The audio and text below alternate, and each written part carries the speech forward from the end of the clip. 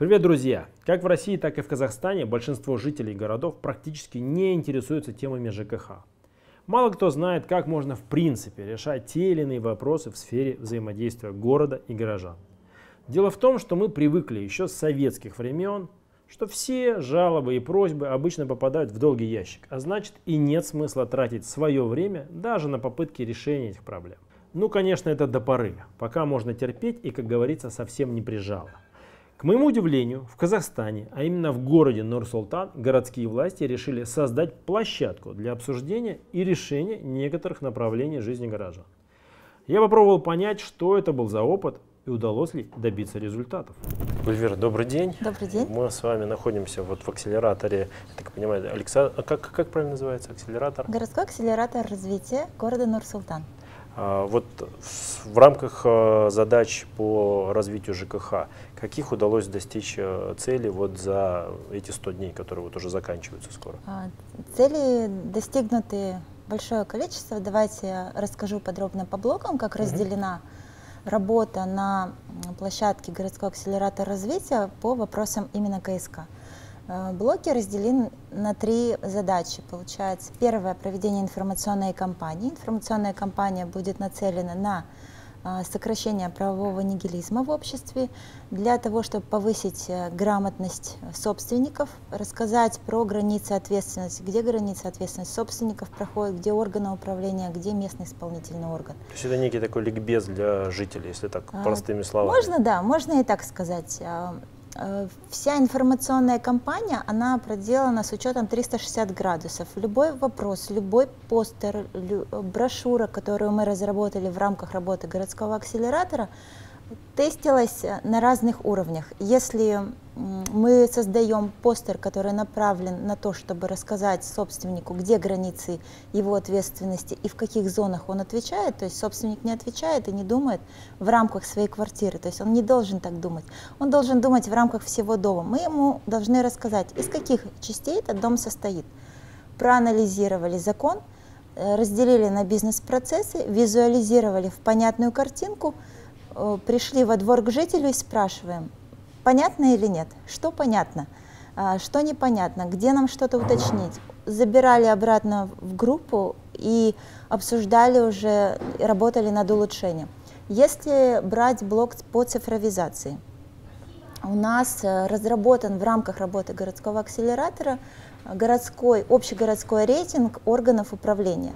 Что это значит? Это значит рейтинг 360 градусов опять, Э, смотрим, составляем критерии со всех сторон по KPI тех участников, которые проходят по, в управлении домами.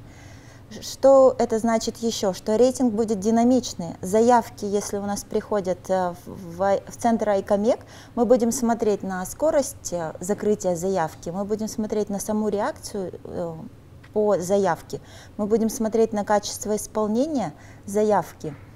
И рейтинг будет показывать динамику. То есть житель, что это дает жителю? Житель уже не будет закрытыми глазами выбирать себе орган управления. Житель уже не будет искать, где же этот орган управления качественный взять. Он заходит в рейтинг и видит динамику. Он сам принимает решение, желает он э, такой э, персонал у себя дома видеть, либо нет органом управления мы называем, ну, фактически КСК, управляющий компанией. В простонародье, да, это термин КСК, он уже прижился, он понятен. На самом деле это орган управления. А на чем основывался вот на сегодняшний день, пока еще нет такого взаимодействия с жителями, вот этот рейтинг? Что являлось там основными критериями? Есть критерии у жилищной инспекции. Это их критерии, их показатели. Есть ожидания по собственникам. Это составлялись, э, делался опрос собственников. Все открыто, все в рамках э, открытой площадки городского акселератора. Везде было освещение в СМИ, была дана ссылка. Э, были опросники, запускались опросники, мы смотрели настроение в домах, в пилотируемых домах, как люди отвечают, довольны, недовольны, какие настроения внутри дома. То есть это такой очень консолидированный, подробный анализ который позволил нам говорить, что да, эти критерии важны. Да, допустим, в оказании сервисных услуг этот критерий важен. Да, для местного исполнительного органа очень важно, сдан, э, подготовлен дом к теплу, либо нет какой акт готовности, сколько в актах готовности нарушений. То есть это, это их KPI. Вот этот рейтинг, он все охватывает. Правовой нигилизм самих жителей – это действительно проблема. Мы хотим, чтобы наши дома и дворы были лучше, но при этом даже не знаем, где начинаются и заканчиваются наши права и обязанности в отношении содержания общедомового имущества. Рейтинг управляющих компаний или КСК, ТСЖ – вещь, безусловно, нужная. Но как применять эти знания жителям? И вообще, готовы ли сами жители эффективно управлять своими домами? А, не секрет, что есть две точки зрения. Одна точка зрения говорит о том, что местные жители, ну, то есть жители самих домов, могут, а, как им кажется, спокойно управлять домом и решать все вопросы, связанные с ЖКХ. Есть другая точка зрения, когда люди понимают, что этим должны заниматься профессионалы, профессиональные управляющие компании. Вот с вашей точки зрения, где перспектив больше и э, как бы, куда, как сделать так, чтобы а, не было вот случаев, когда вот эти самодеятельные управляющие компании в итоге приводят ну, к не очень хорошим результатам, будем так мягко говорить. А, моя точка зрения всегда отталкивается от конечной цели. То есть что мы хотим? Если дом 20-квартирный, 25-квартирный, я думаю, можно найти управленца, который способен э, сам организовать правильное управление в таком доме. Ну, там 20-25 квартир, все соседи, все друг друга знают. Но если мы говорим уже о структуре э, МЖД, которая от тысячи квартир и больше, я склоняюсь и, наверное, даже где-то буду настаивать на том, что был квалифицирован, что были работали в органе управления квалифицированные кадры чтобы сервис оказывался согласно каких-то стандартов, чтобы я понимала, что такое хорошее качество обслуживания, что такое плохое.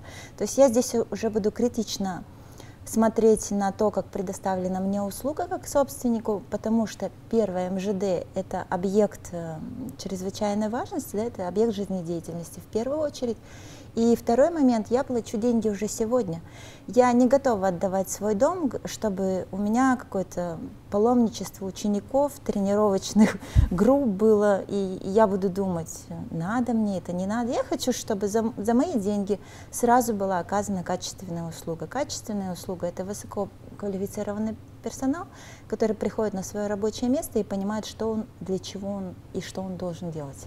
Не знаю, как вам, но меня при фразе «надо провести собрание» охватывает уныние. Возможно, это память советских или школьных времен, а может это просто желание заниматься своим делом, а все остальные дела делегировать кому-то, кто в этом более сведущ. Например, я же не стою за камерой. В этом вопросе доверяю операторам, которых, кстати, нанимает HR-специалист. Вот и здесь я не хочу заниматься тем, в чем почти ничего не понимаю.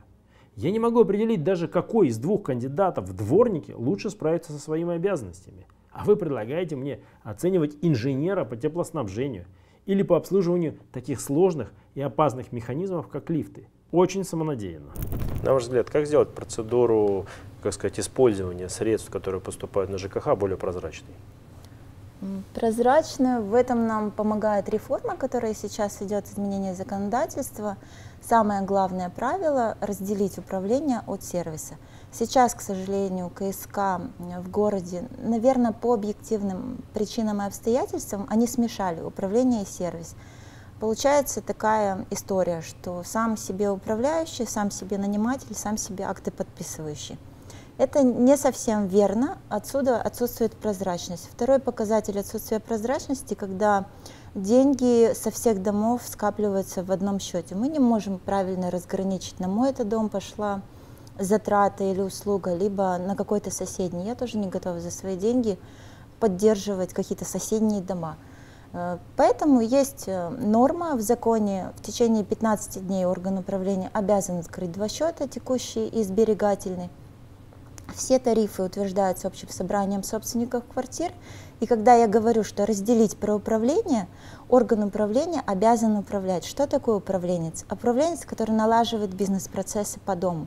Он не подметает, он не, по, не моет полы, он как раз-таки налаживает коммуникацию и создает внутреннюю команду дома. Это Dream Team э, в нашем доме. То есть фактически он является нанимателем всех этих профессионалов? Он может быть нанимателем, то есть э, собственники его избрали, они ему доверительное управление дали свое имущество, он нанимает сервис.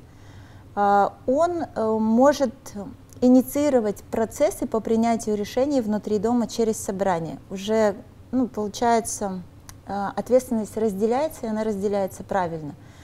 Собрали собрание, две трети подписи собрали, и сказали, что вот этот у нас моет полы, этот у нас делает ремонт, этот, не знаю, инженером работает, но все это согласовано, дружно и прозрачно. У, мы понимаем, куда уходит и сколько денег уходит. Если честно, то я думаю, что желание участвовать в общественной деятельности есть только у единиц. Для этого нужен определенный характер и мотивация.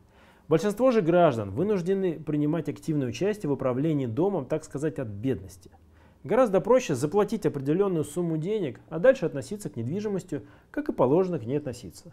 Во-первых, как месту проживания, а во-вторых, как к активу, который стоит денег и может либо приносить доход от аренды или увеличивать в цене, либо нести на себе расходы за пользование – но в последнем случае я, безусловно, хочу видеть прозрачность этих расходов.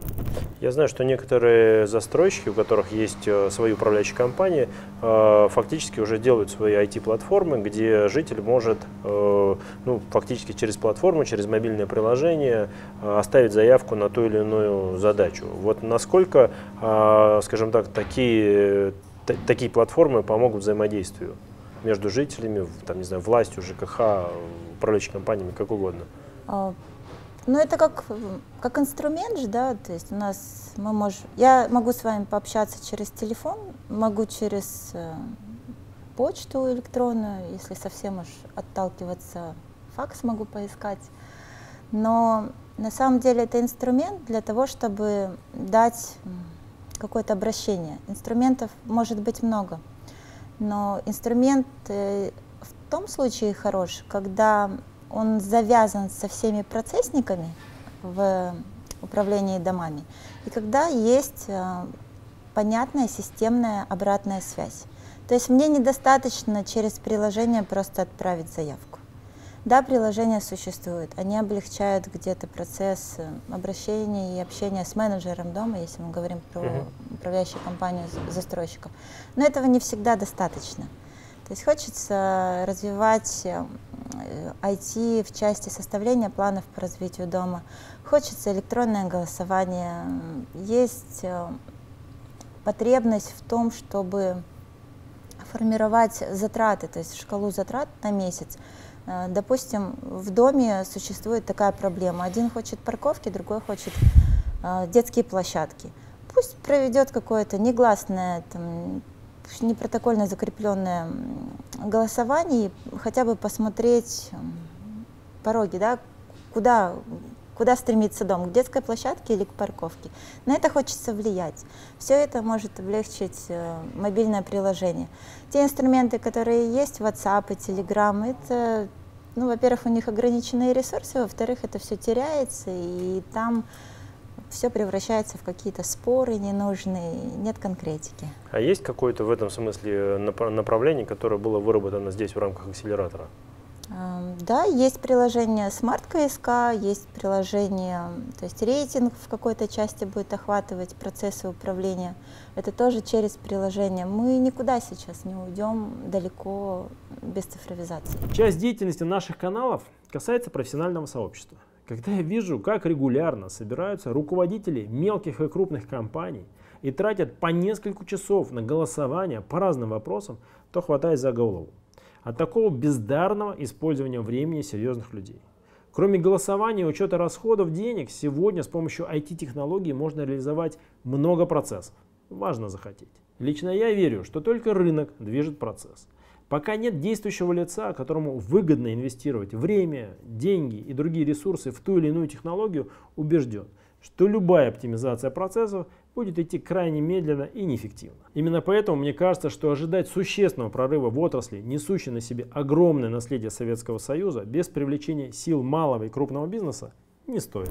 А вот в, в рамках этого обсуждения э, взаимодействие именно с профессиональными управляющими компаниями э, как-то строилось? Вот вы говорите 360 градусов. Вот их мнение как-то учитывалось и как? Они были участниками, они заходили на площадку, то есть городской акселератор развития, он был открыт для всех, здесь не было какой-то выборности.